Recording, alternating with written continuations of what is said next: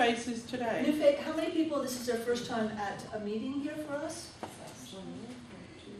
Okay, not as many as I thought, because I know that there are people here that heard about it, for example, through Towns Union Master Gardeners Association.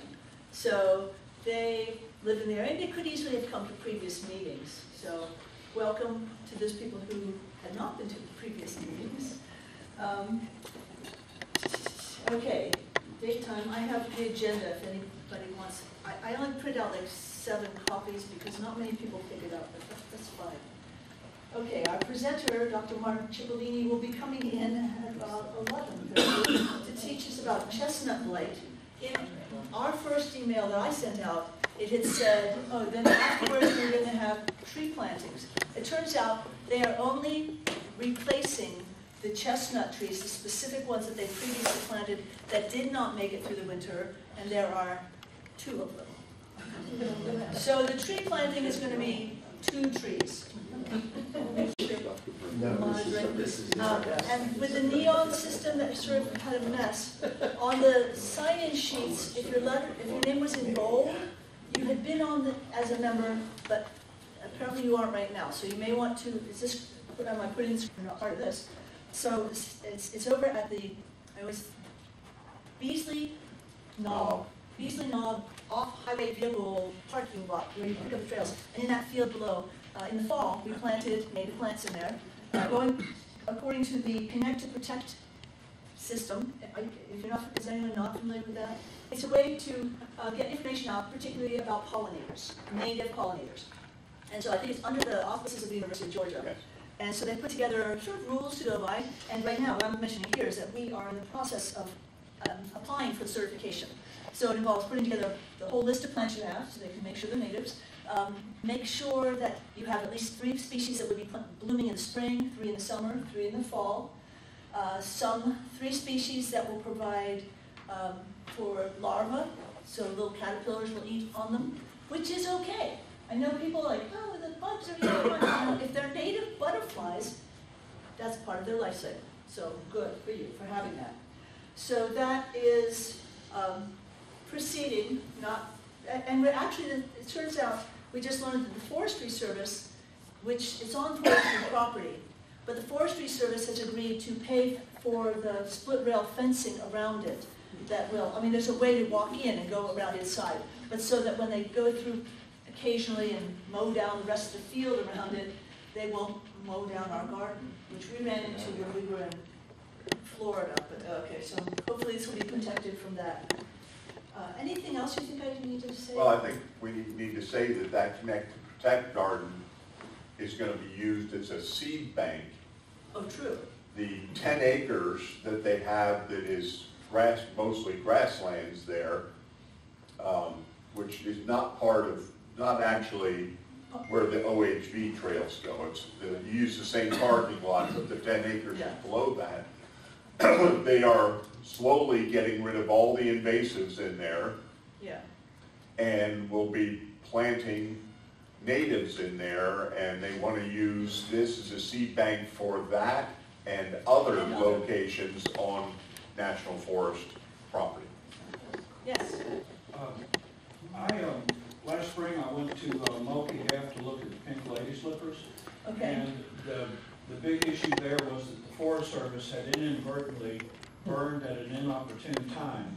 So they're, when they work with conservation groups and, and these areas of importance are called to their attention, they're happy to adjust their burns accordingly. and that's, that's very good, because they're actually, the most recent email I got from our connection with Laura. Laura Brown. Laura Brown, I almost called her Lauren, that's enough. Laura Brown, um, said that they're going to be having a prescribed burn sometime in the next few months. So we want to make sure our garden is But, not. yeah, they will be, But there's nothing growing right now, it's, it's dormant. It- it- They're mostly, mostly, but not all, annuals and perennials. We have a couple bushes. It's about the time. Yeah, yeah, absolutely, absolutely.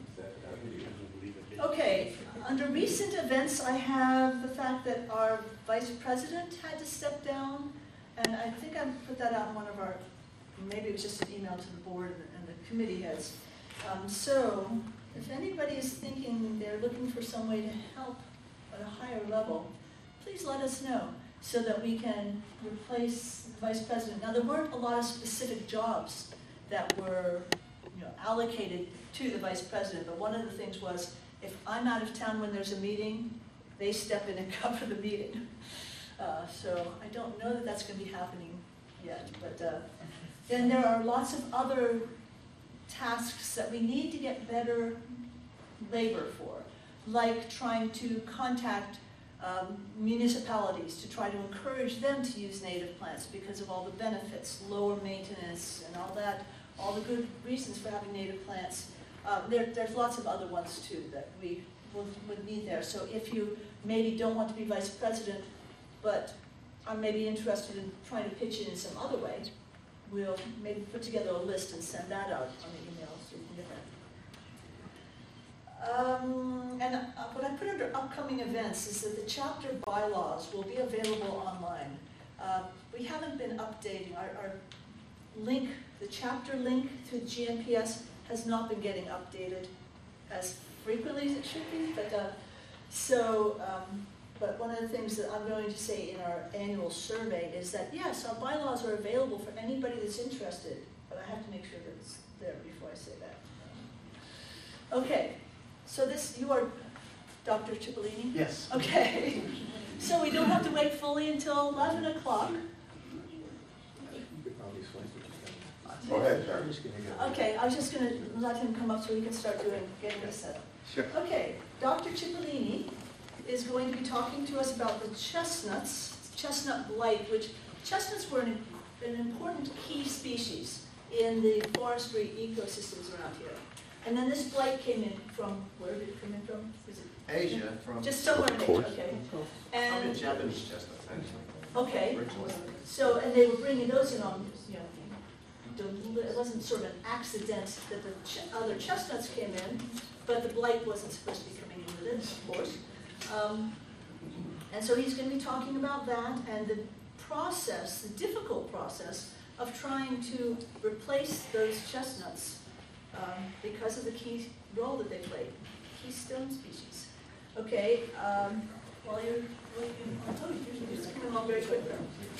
Received his BS and MS degrees in biology from Indiana University in Pennsylvania. I'm from Pennsylvania. PhD in ecology from Rutgers.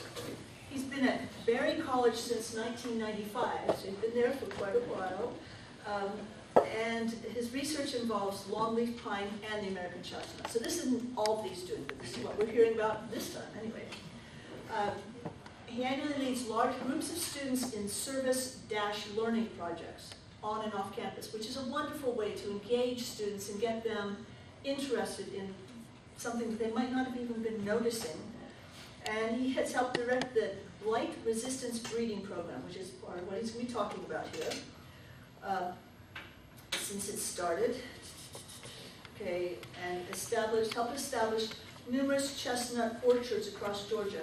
Now, does that include places where they're actually taking the chestnuts to take somewhere else? I'll talk about, I'll talk about all the different kinds of orchids. Okay. Yes. Okay, because I- Okay.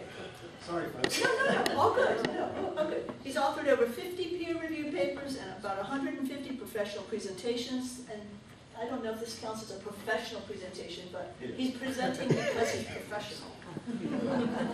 No, I'm very better. professional, I can't get this slide show. It's my computer, and I probably have made it hmm? completely dead. I'm sure he knows how to work on Is the there- computer. Okay. I just can't find how to.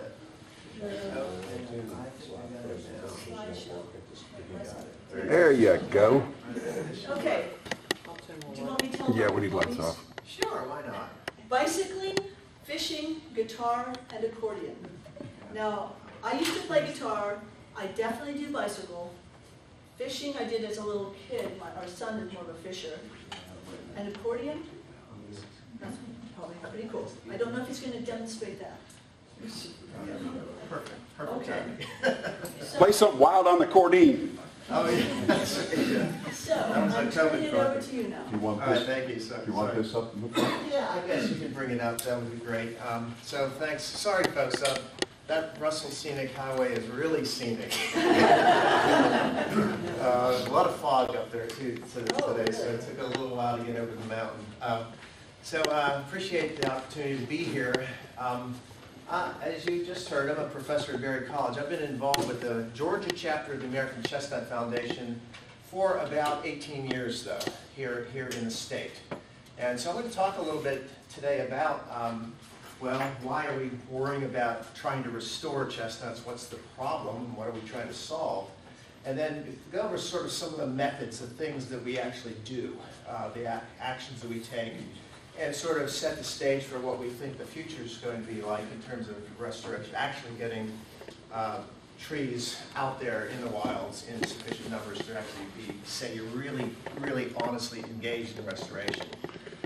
In a case like uh, the American chestnut, the main issue are diseases, and, and getting disease-resistant stock is the first step of that. And the group that I work with, the American Chestnut Foundation, has been working for about 40 years now. It's, they just celebrated their 40th anniversary, or birthday, they're calling it. Um, um, it's a long time process. You're working with trees. You're not working with breeding, you know, annually plants or breeding fruit flies or something like that. You're breeding trees, which take generation, you know, long periods of time to work with. So it's a long-term pro- uh, process, but having the proper stock to be able to try to engage in restoration is the real, real issue. So that's what I'm going to talk about. So you should, hopefully, as native plant people, you should know about American chestnut. Sorry, I don't know if that's appropriate to do it that way. I'll Um, take, I'll take care of it. So, um, so the tree itself, right? There are accounts that suggest that it was probably up to twenty-five percent of the trees, especially in the Appalachian Mountains farm, right? Uh, it, it extended in Georgia, uh, actually w- i- into the coastal plain. Certainly all over the Piedmont, spe- especially here in the mountains, but definitely way down in the Piedmont, and then even on into the, uh, into the, uh, into the plain, into the coastal plain. So that map there on the side sort of shows what, where most chestnuts were concentrated, which is the darker green, and uh, the lighter green includes much, much of Georgia, right? And, uh, you know, uh, as of the early 1900s, they were plentiful. They grew straight and tall. Uh, They produced nuts every year. Great timber trees, great for wildlife food, for human food, uh, for all sorts of products. Um, In fact, in the Appalachian Mountains, American chestnut was sort of the, sort of the base of the economy, not for, not just for wildlife, but also people. They built things from it, They're- one of the few cash crops they had were chestnuts. Uh, they ran their hogs and other animals on them in the wintertime, you and, and fattened them up on chestnuts in the fall. Uh, so it was really important. And the two diseases that I'm going to talk about, you probably have all heard of chestnut blight, right? Mm-hmm. Most of you, at least. Well, in fact, the first problem was not chestnut blight. The first problem is this thing. And in fact, we have it here on this, on this spot where we planted trees last year. Jim, you're smiling because, you know, we, we planted all these trees last year and it's always a risk. Because this thing is a, is a disease that is perhaps even more devastating than, than the blight. It's a root disease. It was also introduced from Asia, probably uh, through the port of Savannah in the early 1800s. And it started working its way north. By now, it's, it's up into Pennsylvania. It's sort of a subtropical species. It's more related by, to algae, actually. It's kind of like a parasitic algae is what it was really like. They call them water molds, but this is Phytophthora cinnamomi. Uh, it causes a disease that's called black root rot or black ink disease. Uh, and it is just devastating to chestnuts. It's devastating to 5,000 different species. It's not just chestnuts, believe me, this is not specific to chestnuts. And it's spread around by horticulture and agricultural practices. It's soil borne, so anything that has been contaminated, once it's contaminated, that site is forever contaminated. So um, as native plant people, you probably want to be very careful about moving. When you're moving from site to site and you're planting things in different sites, you probably should be cognizant of the fact that you should be using clean tools, clean shoes, spray your shoes with alcohol before you go visit a native site. There's, there's actually things that are very important when you're actually trying to put things into wild or semi-wild con- conditions to avoid spreading around this thing. uh, many, many, many, many sites in Georgia have this problem. Um, It kills from the roots up, so when, when this thing attacks the trees, this is why I say it's even more devastating than blight, because it kills the tree entirely. As I'll show you in a second, blight generally just only affects the upper portion. It's devastating, yes it is, but the tree still can resprout from the base, it doesn't kill the roots. That's not true with this, this kills it entirely, yes? Is this also what's affecting the oak trees, the red oaks? Uh, not specifically, no, no. Uh, We're, we're not, I don't think anyone's one hundred percent sure about what's going on with red oaks. Um, Oaks in general are having problems. Probably, a, a lot of it has to do with the lack of fire in, in systems. They, our forest should, even up here in the mountains, the forest should be burned every ten to twenty years at least. And that's not happening. So, um, oaks are suffering as a result of that, as a, as a group. Uh, I'm, I'm losing red, red oaks in my backyard area, I, it's not this. It's not, it's not this. Now, there is what's called sudden oak disease that everyone needs to be aware of, planting oaks from other places. You're probably not doing that, you're probably using, if you're planting any oak trees, hopefully you're using native trees from Georgia. right?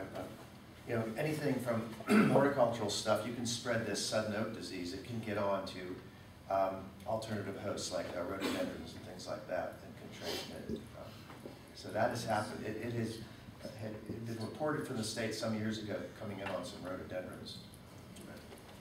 So, uh, in any case, pretty bad disease, and, uh, we planted pure American chestnuts here, and, uh, I don't know, who's here from the center? Right here. Hi there, is it, is it Claire, Who, who's I'm Claire? You're Claire, and you are? Um, Pat, Pat, okay. Um, I think we planted twenty, didn't we? We Yes. planted twenty, and do you know how many are alive?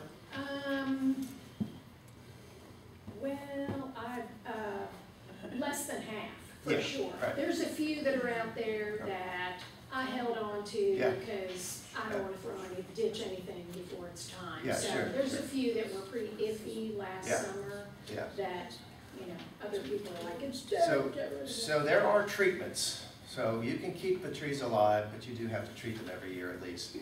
And, uh, that's not true with blight. There's no, there's no treatment for blight. So there is, you know, if you have an orchard or small planting or something like that and you have, you know, plant chestnuts in it, you can actually keep them alive, um, with treatment. And it's, it's, it's sort of like a, it's phosphate-based fertilizer is really what it. So in any case, the second problem is chestnut blight, which many of you should be familiar with. It started, it was first discovered at least in the, in the Bronx, in New York City. And this of shows you the timeline. By the nineteen forties, it was down here in Georgia. It moved its way west into Mississippi, Alabama, Mississippi, and eventually um, wiped out four billion trees. Four billion trees were killed for this. Um, It's sometimes considered the largest ecological disaster, but, you know, we're, we're seeing other things experience this. Our ashes are being wiped out, hemlocks with hemlock woolly adelgid. So this was probably the first biggie, um, uh, where an introduced disease is causing serious, serious problems. Now, this is a fungal disease, it's passed through the air. There are alternate hosts. Fun, um, this fungus can survive on various oaks, um, uh, scarlet oak, uh, post oak, red or white oaks, it doesn't matter, they just, they, they, they can actually persist. They generally don't cause serious problems on those. They also, of course, persist on Asian chestnuts, that's how they got here. Asian chestnuts, as it turns out, are resistant to both of these diseases, both the blight as well as the root rot, right? And so that's gonna factor into one of our solutions for how, how we address this problem, it has to do with breeding with uh, resistant material. In any case, you can see um, this map, and uh, the way that the fungus works is, it first of all, it puts out this, um, this acid right here, oxalic acid, small organic acid, and it kills the tissue. So it puts it out, it kills the tissue, and then it grows into that dead material. It's a particular pattern of lifestyle that this particular kind of fungus uses.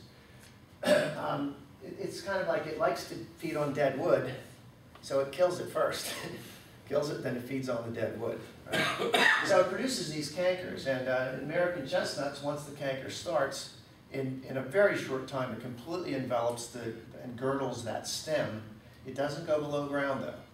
So it kills that stem, everything from there on up is dead, and they still can resprout those. So you can see here, this is one that these two stems are clearly on their way out, but you can see the root resprouts coming up around the base of that already. Now those root sprouts can grow up and uh, they can get some size on them, um, but inevitably they're going to get the blight again, right? So there's no, they, they don't become immune to this or anything like that. Now our largest trees, let me just back up for a second. Our largest trees that we have found in the whole state over these many years are up in this area. The state champion was for a period of time up in the Brasstown Bald Wilderness. Well, the first one that was named was right there on the access road, the paved access road to the top. One is right on the side of the road, and as far as I know, it's still alive. Then one is out the Arkaquah Trail, that, that replaced that one. And then the third one now is on Springer Mountain. Um, in fact, Jim, were you there when we cleared that out the first time? Yeah. So it was probably about 15 years ago, we found this tree, it's about three inches in diameter, it was right along the road up in the um, um, Horn Mountain, Springer Mountain area. It's Hawk Hawk Mountain maybe, Springer Mountain area in any case. Um, We refer to that whole area as Springer Mountain. Um, And uh, we cleared around it, did a little fertilization, a tree died near it, and that thing grew up to, it's like 65 feet tall now, and about, at this point in time, it's about I think it's about 14 inches in diameter. But now, that is now the new state champion tree. That's as big as they get, though. Um, that is as big as they get. That's, those are, sort of outstanding examples. They're all high elevation trees. They're, that might have something to do with slowing down the blight.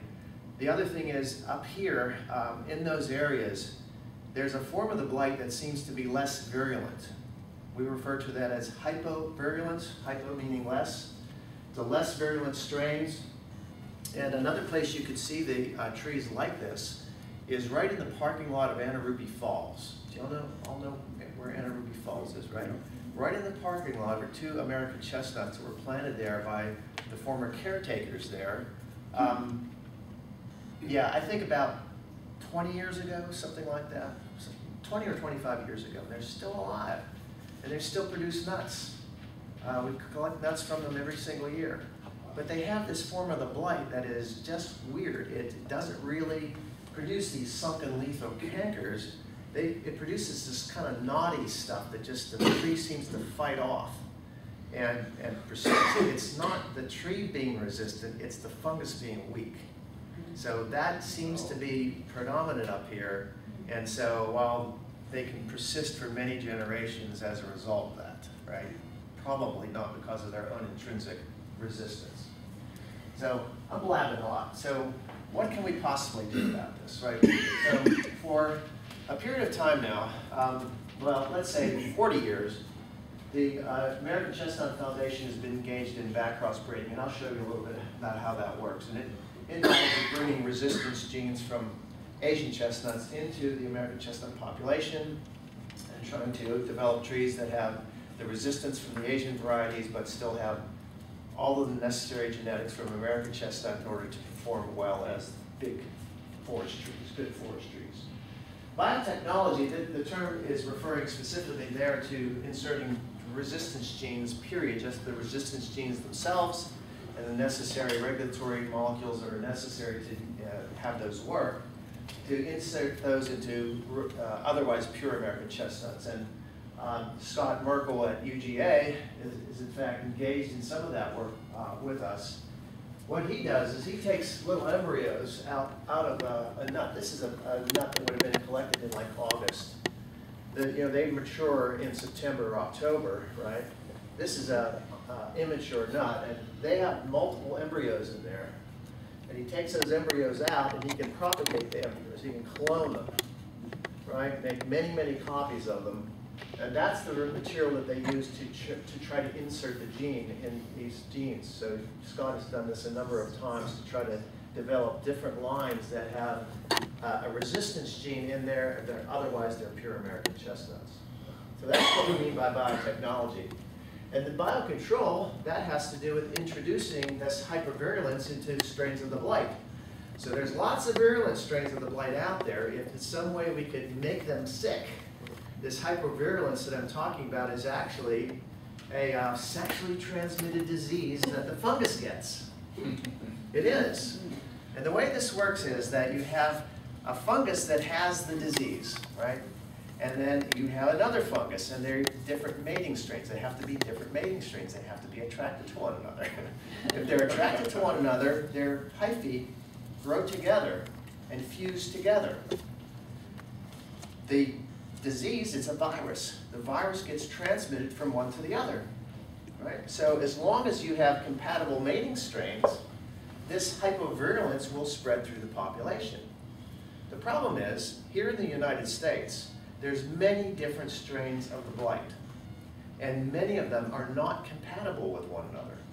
So this hypovirulence doesn't spread very well. It's found in certain locations, but it's not spreading, right? In Europe, um, hypovirulence has actually spread. There's far fewer strains of the blight. Uh, if you think about it, it's logical because in, in Europe, they've long had a cultivated chestnut industry. For thousands of years, they've cultivated chestnuts. They had their own chestnuts. They had no reason to import Chinese chestnuts, right? No, no incentive to do that. Where here, our, our trees got all wiped out. We had depended upon the wild trees. And what do we start doing? You know, we start, when we see problem, we start importing Chinese chestnuts. That happened all over the place. Uh, Callaway, Callaway Gardens was a good example of this. They uh, went in the 1930s and imported lots of different Chinese chestnuts to try to, you know, address the problem. And what do you suppose? You know, they're importing the, this material, likely importing different strains of the blight coming from Asia. So now we have all sorts of different. You, you, there, I, I saw a study that showed a one tree that was uh, had a bunch of cankers on it, and they had seven different strains of the blight on that same that same tree. So it's it's pretty difficult here, but there is a program uh, involved. There's a couple of different approaches to it, but um, there's this development of what's called a super donor strain of um, of the blight, and basically a super donor is like and you do it with anybody. and so it's compatible with many different strains. And so if you can introduce this super donor into a population, you could possibly get this hypovirulence to spread through the population. Right? So that's what the approach of biocontrol is, to use these hypovirulent strains to weaken the blight. And uh, our, our organization believes that you know, some combination of all three of these approaches is going to be necessary to really really ultimately solve the problem. So we're going to talk, uh, finish talking here today, uh, focusing on the breeding program. So I'm not going to talk so much about biotechnology or, or the uh, biocontrol. I'm going to talk about the breeding program. So uh, this is one of my colleagues. This is uh, uh, Caitlin Kahn here, and she is pollinating a tree. See the catkins there? This is in about June. And there's female burrs right here, and we've collected pollen from another tree, and she's excuse me, putting, uh, putting pollen on, on that little burr, right? So this is the uh, stigma style sticking out of the female burr. That will produce the burr with nuts in it. And of course, we got the pollen from other trees. These are not self-compatible. So you just have to take the pollen from another tree and put it on this tree, and you're good to go. Now, in norm normal situations, we'll have bagged these ahead of time. This is a little demonstration that we're doing there for the photograph. But ordinarily what we'll do is we will bag them ahead of time so they won't be pollinated by other things. Then we'll come back a couple weeks later, we'll take the bags off, we'll pollinate or, and put the bags back on, right? So, so that's a controlled pollination. So why would we do that kind of thing? Well, we need to capture the disease resistance. So no matter what avenue that we obtain disease resistance, we need to breed that into other trees. We have to spread it around, right? Spread, spread the goodness around.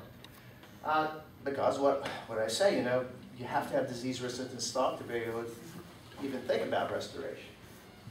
Also, to capture genetic diversity, because this tree, as you saw, it extends from Maine the whole way down into Mississippi, on even into the southern you know, uh, plains of uh, Georgia.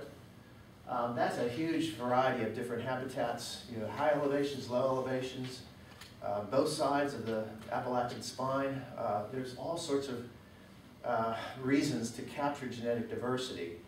So in order to ensure adaptability, so these trees will do well, You know, we didn't want to, for example, go to a state like um, Pennsylvania where there's lots of American chestnuts still alive. You can get nuts and everything, you can breed with those, but you wouldn't want to be planting those all over the Piedmont in Georgia. That's not, that would not be an appropriate choice of genetic stock in order to plant here. So this adaptability is not only just trying to capture as much of the actual genetic diversity that's in the population, but also to work towards developing regional strains, right, regional strains uh, that are adapted to a particular location, right? And in fact, that's one of the reasons for setting up this orchard here at, uh, at GMREC. This, we call this a mother tree orchard, and we're trying to establish trees from the south, the pure American chestnuts in the south, from the southern areas, in order to actually do this breeding with them. So it's part of this regional adaptability uh, program to do this. So um, one of the things about this is classical breeding programs can't easily optimize both resistance and diversity. What I mean by that is we already have trees that are very, very resistant.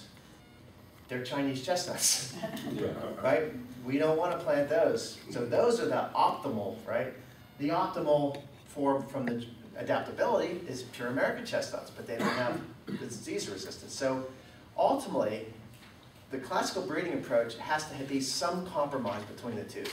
You have to get sufficient disease resistance in to have them survive, right?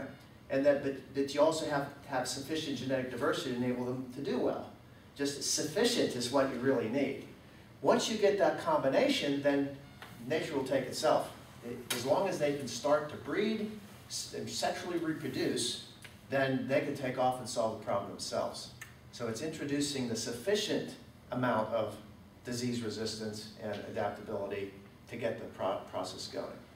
Because that's really what the fundamental problem is. If, if these things could constantly reproduce sexually themselves, they could probably solve the problem. They don't have a lot of genetic uh, diversity for either of these diseases.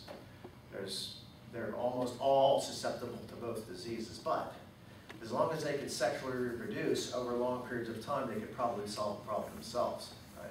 But they don't reproduce sexually almost ever. Those trees that I'm talking about, even those big trees, that barely, they produce a couple of nuts maybe, you know? They're just not. There's actually probably 100 to 200 million trees still out there, but most of them are this tall, right? By the time they get to flowering stage, they, they crap out. And so evolution can't work that way. Natural selection can't work that way. You have to have sexual reproduction to spread good genes, right? And, uh, and to be able to, uh, uh, you know, propagate the species. So, so uh, it just, I'm going to skip the next slide, but I'm going to show you this one. Uh, you know, we do these crosses, and the, the back cross program works kind of like this. So, um, does this point over? Oh, wait. What is it? Oh, there we go, okay. So, uh, in here, the red, can think of as a hundred percent American chestnut, and the white being hundred percent Chinese. And so the first cross in the back cross program involves American and Chinese, and that produces this F1, so the F1 is fifty percent of each, right? The back cross program then by trying to take that generation and crossing it back to pure American. You then get a tree that's a first back cross, seventy-five percent, twenty-five percent, but what you're trying to do is you're selecting amongst these to try to pick that one percent or that small, small level that have the disease resistant genes from, from Chinese chestnut. And you do it again and again, and ultimately you get a generation, this is the generation that the chat, the uh, organization thought sufficient, this is now well over ninety percent American chestnut, and they had that little tiny percentage of Chinese chestnut genes in there. And uh, this would represent a family right here. They're all, all, all from the same parents, right? There's the two parents, American and B2. And these are all, you know, a family. But as you know, you know, you probably have, some of you may have kids. And they're not all the same. Got some good ones, you got some bad ones. Uh, um, Maybe, maybe fortunately, you can't just do what we do. We get rid of the bad ones, we keep the good ones. And uh, that's the way the program works, right? We generate these families, we then test the families, we test all of the offspring of these families, and we try to keep the good ones. And again, the good ones would be those that have sufficient blight resistance, or we do the very same thing for root rot resistance as well. The ones we screen for root rot resistance, we keep the ones that are, have high root rot resistance, and otherwise have uh, American chestnut characteristics. So this is one of our orchards here. This, this is uh, near, near us, this is uh, the Henry Orchard. This was originally planted with about 500 trees, and at this point, we have about 30 of them left. Wow. Right? And uh, our goal with most of these orchards, these are backcross orchards, breeding orchards, is to get them down to about 1 or 2%. We really want to select hard to pick the best of the best. Yes, go ahead. I understand the, tr- the problem you're, you're, the primary problem you're trying to solve, but if you, uh, produce a perfect line at the B three, don't you, i- is it, there, is there a risk of a monoculture that can then be attacked by a new? That's, that's why, that's why we're talking about genetic diversity. We don't do this once. We do this many times with many, many, many different trees. The whole goal is to capture the genetic diversity that exists in American, in American chestnut. We've been, uh, we've been doing estimates of what is the, what is the genetic diversity and what are the patterns of genetic diversity in the American chestnut population. So for the last five or six years, we've been collecting leaf samples. I've collected 50 samples all over the state here. All of them genetically analyzed, looking for patterns of genetic, diversity, and that's going to help guide our, our choices as to what to breed to what. And it turns out that the south, especially the southwest area, like west of here, is the most genetically diverse American chestnut population in the whole, the whole thing. As you go further and further north, particularly once you get into Pennsylvania on up into Maine, the very low genetic diversity. It's almost like they all came from the same set of parents going up there. But here in the south, there's all sorts of genetic diversity. As a matter of fact, there's been a, a sort of rediscovered uh, species. Um, it's right now uh, Weakley, Alan Weakley, probably familiar with Alan Weakley, um, and uh, the uh, flora of the southeast. Um, he's recognizing this as a as a species. Says uh, Castanea alabamensis. It's a type of chinkapin, right? But it's definitely it's distinct. It's on its own lineage. It's distinct from uh, American chestnuts and from Allegheny chinkapins. They don't cross with one another very frequently at all. Another thing they discovered is chinkapins do not cross with American chestnuts. I think chinkapins flower a little bit earlier. Um, I don't know exactly why, but they can find no evidence of ongoing um, crossing between chinkapins and American chestnuts. So yeah, we are not doing, do- I mean, that, that is the principal thing about the breeding program that we're working on is genetic diversity is extremely important. We are not gonna do a monoculture, absolutely not. And uh, the other point about it is, uh, once we get these out there, they, we hope, will start to breed with the native population, right? As, in, insofar as that's possible, right? So yeah, that's a great question. Uh, I'm gonna skip this one, that's a little detail, but we produce a lot of different crosses. So I just showed you these uh, F1, B1, B2, B3s. I showed you what those are. But in order to uh, uh, try to get the maximum um, resistance, we have to do what are called intercrosses. So once we get to that third generation, for example, we cross them with one another. And right now, what we're focusing on is a program called the Best by Best program. So we take, we, let's say it's a third generation backcross, we, there are more than 90 folks, each state doing their own business. We've been doing things region-wide. And so, for example, this summer, um, I'm, I'm gonna show you this technique in a second, but we assess blight resistance in seedlings. We're gonna, at Berry College, we're gonna assess blight resistance on 600 trees from about um, five different states. And, and uh, UTC, uh, at Chattanooga is gonna test uh, 900 of the same, same lines. So we'll test about 1,500 trees from this Best by Best program this summer, right? Once again, the idea is to pick, you know, those were supposed to be the best by the best. We expect their offspring to be, have even better um, resistance on average.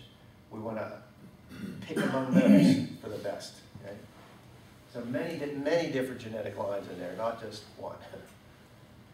And then we do some other weird things as well. Sometimes we, we do the odd crosses and then Uh, This is uh, one of the transgenics. We're still working with those transgenics. That's a, the OXO gene is a gene that breaks down the oxalic acid. The fungus makes the oxalic acid, this breaks it down. The first product that came out was called the Darling 58, uh, now discovered to be Darling 54, but uh, we have assessed it over the course of the last year or so and have withdrawn support for it because it's just not performing well. It's, it's not nearly as blight resistant. There's, there's some other problems. It's, it grows less well than American chestnuts. So there, there's some clear problems with that particular version, not the gene itself, but the, the way it was inserted into the trees that are probably causing problems. And then we breed, and we, we grow and, and breed other, other types as well. So, you know, we often get questions about, you know, American chestnuts versus Chinese chestnuts. And, you know, this is right here. Does anyone recognize that tree? Anyone from down there, Sautee Nacoochee or Helen? That's a, that's a tree on, um, on Hardin Farm. Hardin Farm, chestnut. You know where that is?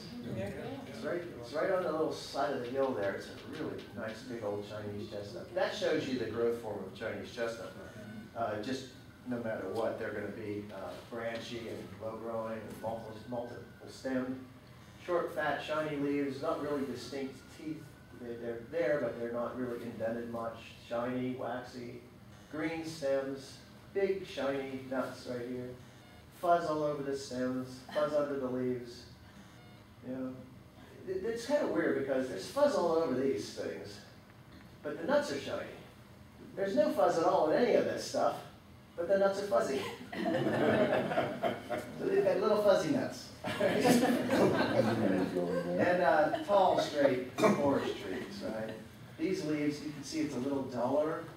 The, the, the, it's a little hard to tell this picture, but nice, nice indented, uh, even curly um, uh, teeth, right? We call them recurved teeth. And uh, completely hairless stems are hairless. Chestnut brown stems, not gray green stems. So when you have them side by side, it's very easy to, to tell the difference. But um, you know, we get tons of reports of these, and we still end up having arguments with people, kind arguments, informative arguments. People are convinced that they have an American chestnut, and it's almost always uh, our reports from anything that's on a farm, in someone's backyard. They say this big tree that's been producing nuts for years, Chinese chestnuts, you can be guaranteed. On the other hand, if it's a small tree out in the wild on a national forest or some, some area like that, we, we, we are surprised sometimes. We just found one that was reported to us in a neighborhood of Sandy Springs. It's like in someone's backyard. It's a little tiny remnant of forest. It's probably only as big as this room. And on one side is a mosque that was just built, or a t- a Hindu temple. And then, and again, it's this neighborhood, and in this little, little patch, there is American chestnut right in the middle of all that. Right, right in the suburbs of Atlanta. So we do get surprised sometimes. So, uh, uh, overall, we've done lots of crossings. So I started getting involved in the program in 2006. Uh, so this is from, uh, as of last year. We produced a total of 21,000 nuts. This is difficult. This is not easy to do. We've tried it nearly 500 times. That's 500 times we've crossed two trees together in some way and obtained a, a, and you can see all sorts of different generations here that we've been working on. So this is a little summary of what we've been doing. So I'm just gonna finish up here with some pictures of what we do and just a little bit of how you can help, that kind of thing. Um, you know, we uh, have been growing most of our seedlings for, when we grow seedlings, are growing them at Berry College. Planted in pots, this is the time of year we're planting them in pots in, inside the greenhouse. And, uh, nice, nice facility we have there, but, uh, we're probably gonna have to diversify that. I'm retiring in a, a year, I'll lose control of the greenhouse facilities when I do that, and, uh, I hope to have colleagues there that will continue, continue the program, but, um, I'll also emphasize that we don't have to plant them as seedlings. For the whole first part of our program, we did almost all of our planting by direct seeding. And it was very effective. As long as the site was good, you know, we had, you know, upwards of 90, 95% success. Um, I might have a picture of that in here, I can't remember what I have in here, but at UGA, um, down at the Hort Farm, UGA, uh, we direct seeded that, three hundred trees and ninety-nine percent survival, you know, after the first year they're this tall. So it's really efficient because you put the seed in, they're already a seedling in the ground in that first year, instead of having to wait a whole year, you're all messing around growing them in a greenhouse and everything like that. But in any case, we, we have been doing these programs where we test them. uh, So we've had to grow them in the greenhouse because we're trying to test these seedlings in controlled conditions in uh, randomized studies. This is a student of mine, Shanna Lee, and again, this is Caitlin Kahn. And we're doing an assay called a small stem assay. The way that this works, and in fact, your trees that I'm bringing up here, where this was done to, uh, they were controls, and uh, I just brought two trees, by the way. I hope that doesn't, I, I, I got sort of scolded. who, who was it that said, oh, we're good, I thought you were bringing more than that? Was it Teryn, is she here? I, I, Yeah, I thought that because they were, yeah, there that's wasn't okay. very high success rate, I thought, Now, well. I thought you were replacing all the ones that did Yeah, not make no, it, so. yeah, I decided just because of this problem, you know, we don't wanna put too many more eggs in the basket until we see how, how this all works, because they picked a little slightly different site. So in any case, uh, the way that this works is we cut the top off, we inoculate it with the fungus.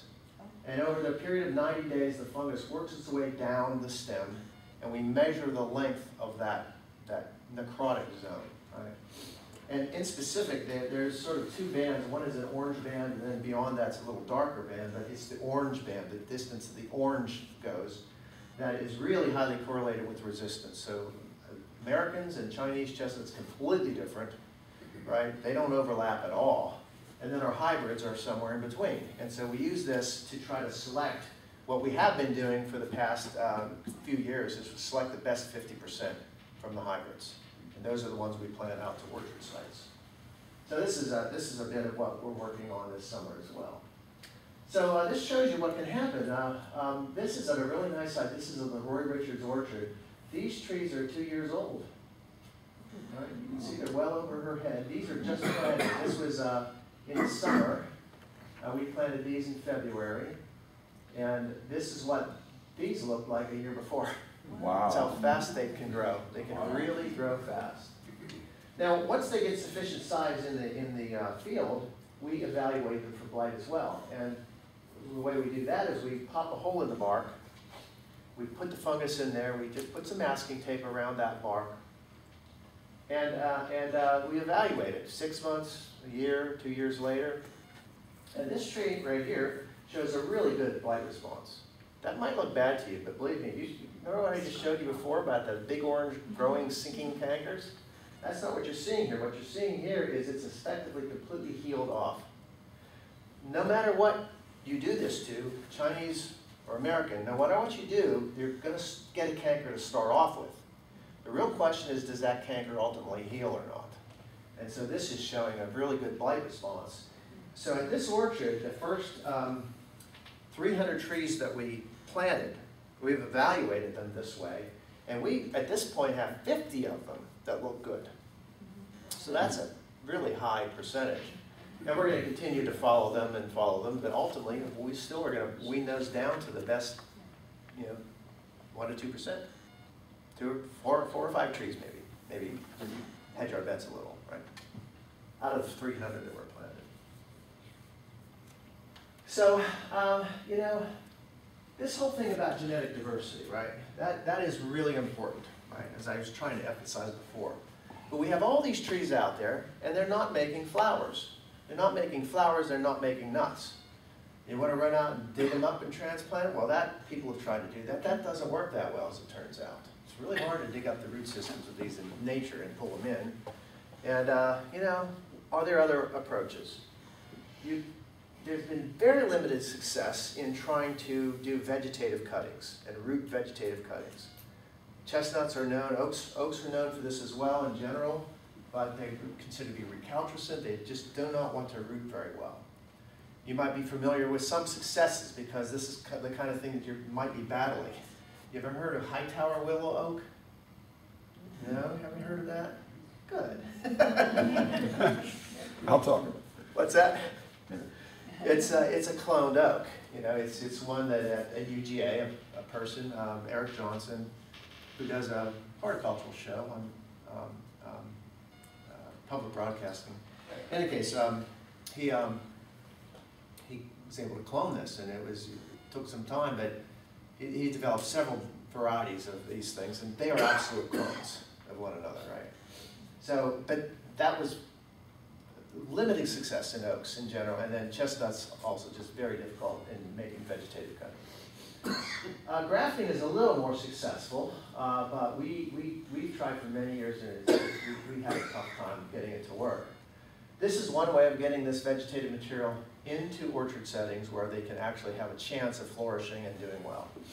And in recent times, uh, it's been the U.S. Forest Service has been working with us to do what's called, well, they call it nut grafting. It's not really nut grafting. It's really, um, it's really uh, what will be called epicotyl grafting. But basically, nut, uh, they use Chinese chestnuts as the rootstock, and then the stem, as it's still, it's just coming up out of the ground, and it's very soft, it's still soft tissue. They actually take the woody tissue and graft it into that soft tissue, and they're getting success rates of somewhere around 70% success rate. And so they did this uh, last year, for example. I just saw the papers out in uh, Chestnut Magazine that's back there, actually. And uh, I think the rates for Georgia were around the highest, I think around 70% in Georgia. And 19 different trees are, have been successfully cloned that way. And again, these are from trees that are out in the wild where we, they're not making nuts, they're not reproducing. Now we have them in a setting, we have multiple copies of them, put them into orchards, and get them up to breeding condition. So this has been a very important program in terms of the regional adaptability uh, and genetic diversity aspect. Now we still map trees. Uh, we still try to map all the trees, and uh, we do plant when we do have American chestnuts, like we did here. We we definitely plant them into orchards. This is one of the kind of orchards that we have. We call them GCOs, genetic conservation orchards. That's what this one here is intended to be. Um, and then uh, at UGA, they are continuing to work on trying to genetically modify pure American chestnuts. So this shows you a map of the state. There's kind of a gap in most of the uh, uh, uh, Piedmont, middle Piedmont here, but this, this is that zone down here where you have Pine Mountain. Um, this this uh, little population here was one of sort of famous in around 2005 or 2006 was discovered to have flowering American chestnuts. That represents the most southern, um, this little range right here, the most southern location for American chestnuts, flowering American chestnuts. And as you can see, it's, it's focused a, a lot on, um, on uh, our national forest areas, both in this region, uh, western and eastern uh, parts of the Chattahoochee National Forest. But again, we're surprised. We find American chestnuts all over the place. There was one right off I-75 in Acworth here that we discovered a couple of years ago, two of them, as a matter of fact. Now this is color-coded, so the blues are, uh, American chestnuts here, and the browns are, are Chinese chestnuts, and the greens are chinkapins. Get an idea there. And uh, you know, with the orchards, we obviously plant orchards. We did this last year here, and this is uh, us planting at that Roy Richards orchard various orchards of various kinds. A lot of this is done simply by, just, just by, um, you know, volunteers doing it on their own property themselves, or we, you know, larger plantations were doing stuff like this. That's the uh, Gilmer County uh, Master Gardeners Group that's helping us there. Uh, just to show you where the orchards are, um, can you tell where Berry College is?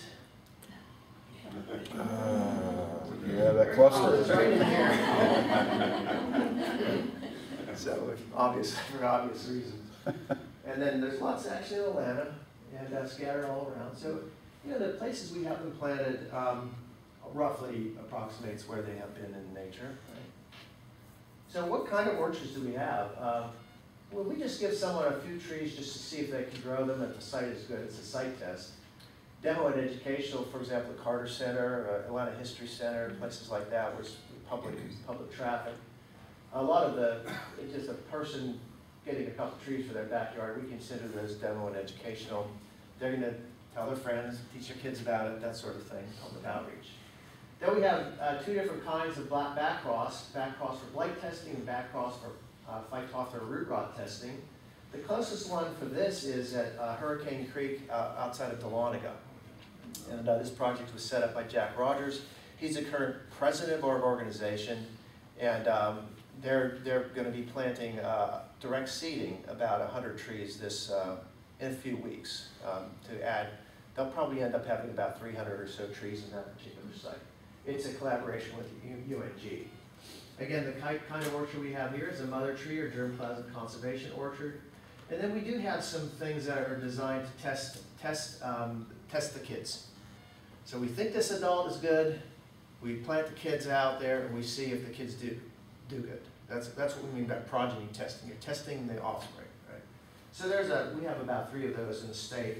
And there have only been, um, there's one attempt at a restoration planting, and that's in Dawson Forest. Three, three locations in Dawson Forest were planted by a person from the DNR. And uh, we've had some folks out there looking to find these trees, and um, it- they, they haven't done so well. It's not the tree's fault, it was just the, the site wasn't properly prepared, prepped and all that. So a lot of competition in those, uh, those clear-cut sites.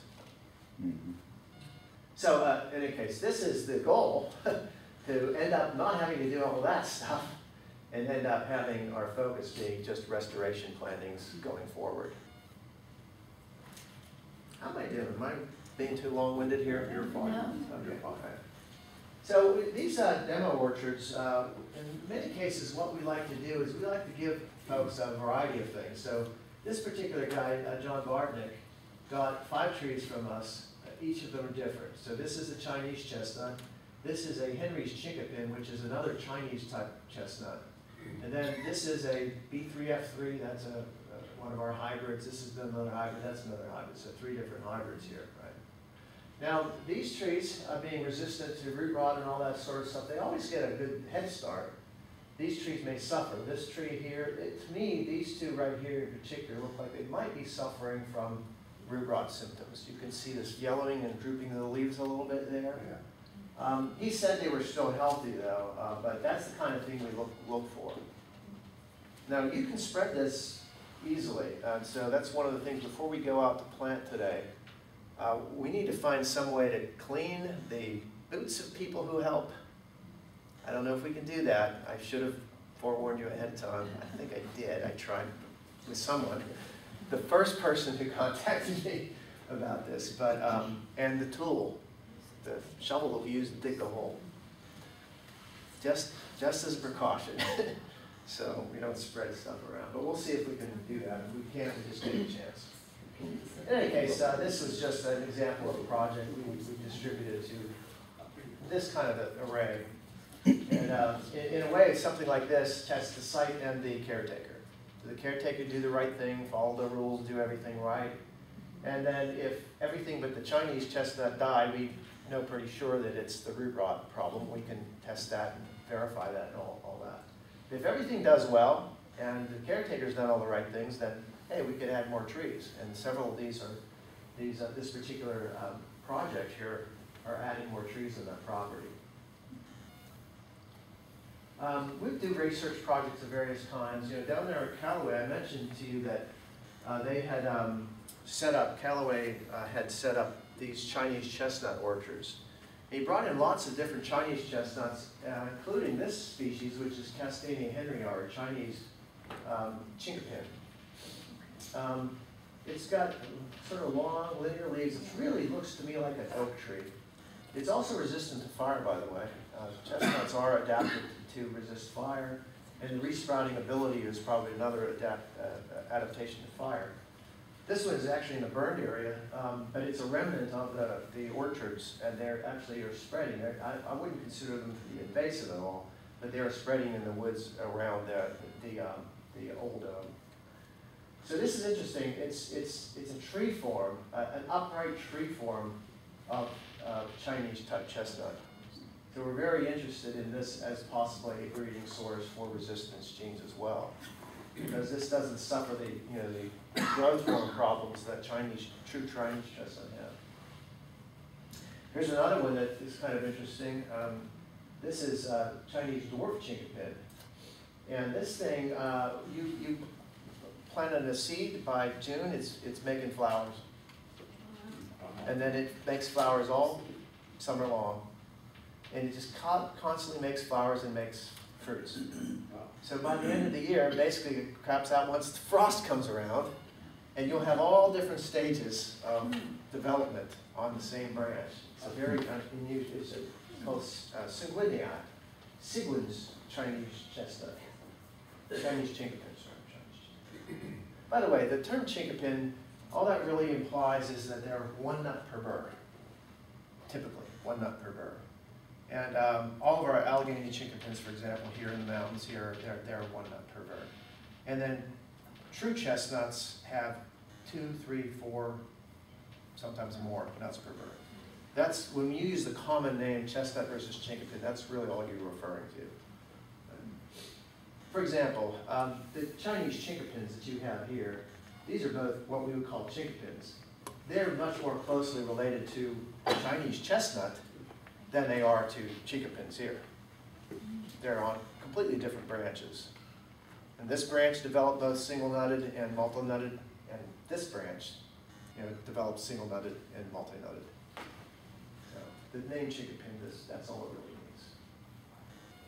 Well, we engage in science conferences. Um, this is a student of mine, Morgan, and uh, she was presenting on the small stem assay, and she ultimately, we have these chestnut chats. These are great. Uh, they're usually uh, 11:30 on Fridays, uh, about once a month. This this chestnut chat got started because of COVID, and we found out that it's really a highly effective way of getting information out to the public. And so it's really they're they're they're very variable.